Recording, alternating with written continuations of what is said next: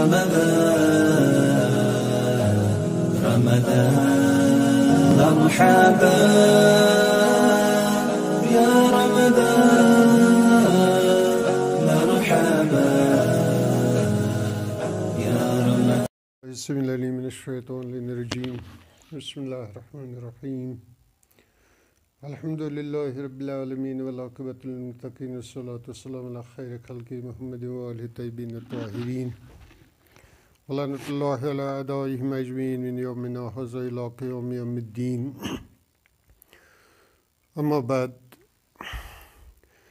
कि जैसा कि आपने कहा कि माह रमज़ान मुबारक के बारे में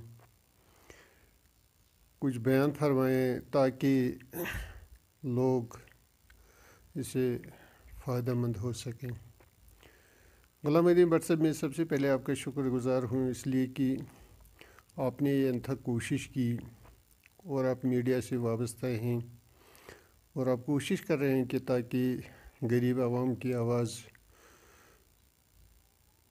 बड़े बड़े ज़िम्मेदार शख्सियत तक पहुँच, ज़िम्मेदार शख्सियतों तक पहुँच सके, ताकि आवाम का इजाला हो सके, आवाम की मुश्किल का इजाला हो सके। और साथ ही आप का इसमें भी बहुत शुक्रिया है और खुदा आलम आपको इस बात की और ज़्यादा से ज़्यादा से तोफ़ी अता फरमाए कि आप लोगों को मुश्किल दुनियावी दूर करने के साथ साथ दावत दीन और जज्ब ईमानी से भी सरफराज करते हैं। गरज खुदावंद करीम ने माह श्याम के मतलब जो आपने कहा कि कुछ फरमाएँ कि माह श्याम जो है, इसका ज़िक्र सबसे पहले कुरान मजीद में मौजूद है। इरशाद रब्बानी हो रहा है, या लजीन आमनु कुतब अलैकुम श्याम कमा कुतब लजीन मिन काबलिकुम तत्तकून। ए साहब ईमान लोगों, वहाँ ये नहीं लिखा गया रोज़ा तुम पर फ़र्ज़ किया गया, बल्कि लिखा कुतब अलैकुम श्याम लिखा गया है, तुम्हारी ज़िंदगी में रोज़ा यानी फ़र्ज़ से भी बढ़कर रोज़ा रखना इंसान के लिए ज़रूरी है। कमा कुतब लजीन में, जैसे उन लोगों की हयात ज़िंदगी की नाम अमाल में भी लिखा गया था, कुरानी किताब में भी लिखा गया था, जो उस दौर के पैगमरों पर या उस दौर की उम्मत पर नाजिल हुआ करती थी। मकसद क्या है इसका? लालकुम तत्कून शायद कि तुम परहेजगार बन जाओ। यानी तुम्हारे अंदर खुदा का खौफ, तुम्हारे अंदर तकवाई इलाही हासिल हो सके। तो गर्ज साबित होता है कि रोज़ा सिर्फ़ हमारे लिए नहीं, बल्कि रोज़ा इससे पहले भी जितनी कौम, जितने पैगंबर आए, उन पर भी फ़र्ज़ था। और उनकी कौम पर भी। फिर जिसने उस पर अमल किया वह पैगंबर का मुती, अल्लाह का फरमान बरदार बंदा बना। और जिसने अमल नहीं किया, वो खुदा के गज़ब का मुस्तक हुआ और शैतान का बंदा बना। तो साबित होता है कि अगर इंसान को तकवाए इलाही खुदावंदी करीम की बारगाह की तर, खुदावंदी करीम की बारगाह के नज़दीक तर नज़दीक तर होना है तो उसका एक ज़रिया रोज़ा है। ताकि इंसान के दिल में जिससे तकवा इलाही हो सके। और इतना ही नहीं, रोज़ा क्या है? पहले हम कुरानी रूज से देखेंगे, फिर तवारी के अतबार से कि रोज़े जो है, रोज़े के बारे में खुदावंद करीम ने अठारह पा, अठारहवा पारा है कुरान मजीद का, जिस कुरान मजीद के बारे में खुदावंद करीम ने फरमाया है कि बल हो कुरान मजीद फ़ी लौह महफूज, जो कुरान सबसे पहले लौह महफूज पर उतारा गया। और कुरान मजीद, यानी वो किताब जिसकी तिलावत आलम रसूल, आल मोहम्मद सल्लल्लाहु अलैहि वसल्लम ने लौह महफूज की थी लौह महफूज पर की। और फिर उसका नाम जो है कुरान पढ़ा। असली इसका नाम किताब लाते ने पढ़ी हुई किताब। गर्ज खुदावंदी करीम की तरफ़ से ये किताब जो नाजिल हो रही है, उसमें इरशाद हो रहा है, अठारहवा पारा है।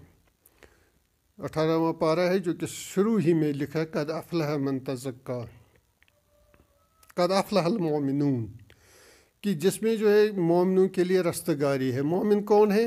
मोमिन वही है कि जो खुदावंद करीम के अहकाम पैगंबर सल्लल्लाहु अलैहि वसल्लम के बताए हुए रास्ते पर और अम ताहीन और साहब कराम ने जो हमें प्रैक्टिकल करके बताया है और दिखाया है, उस पर अमल करने के बावजूद उसको अपनी ज़िंदगी का लाहे अमल बनाए।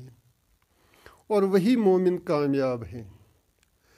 और सुर आला में इरशाद हो रहा है, कद अफलाह मंतज़क का बेशक वही शख्स कामयाब व कामरान है जिसने तज़के नफ्स किया।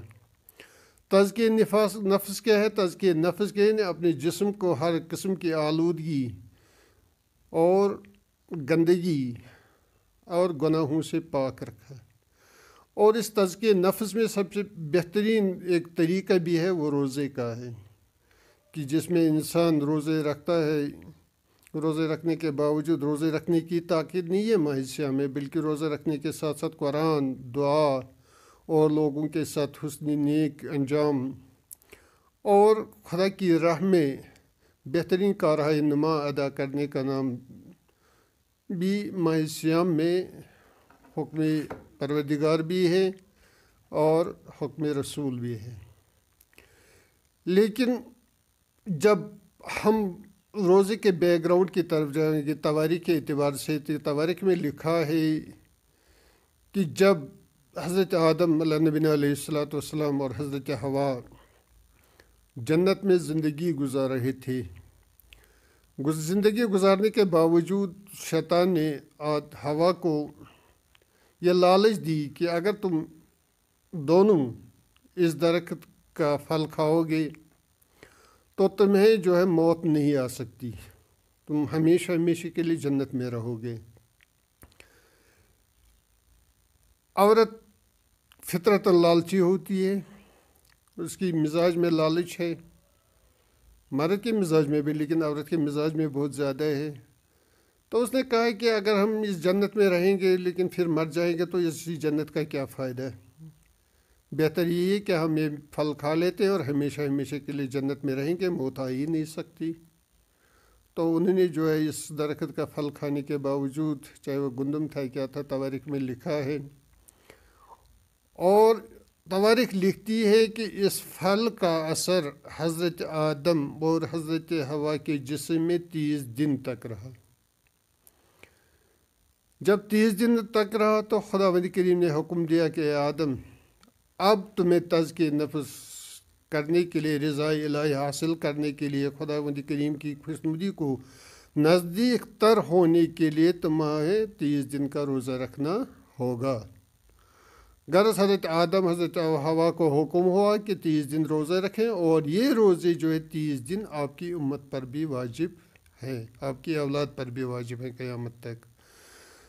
तो साबित हुआ कि इन तीस दिन के रोज़े रखने से इंसान के जिसम में अगर खुदा न खास्ता के भी हराम का गज़ा दाखिल हुआ, खाया, दाखिल हुआ हो, या कोई ऐसी चीज़ जिससे खुदा करीम और कुरान ने मना किया है, उस चीज़ को खाया हो तो जब वो तीस दिन रोज़े रखे ताकि तीस दिन रोज़े रखने के बावजूद उसकी दुनियावी कसाफत और इस हराम चीज़ की जो है कसाफत, जो है इसकी जिसम से जब ज़ायल हो जाएगी तो ग्यारह माह तक वो बिल्कुल मुसलसल पाको पाकिज़ा और उसके बाद आइंद ज़िंदगी में उसके जिसम में ज़रा बराबर भी हराम का खून का कतरा या हराम की शुबह की कोई चीज़ मौजूद नहीं होगी।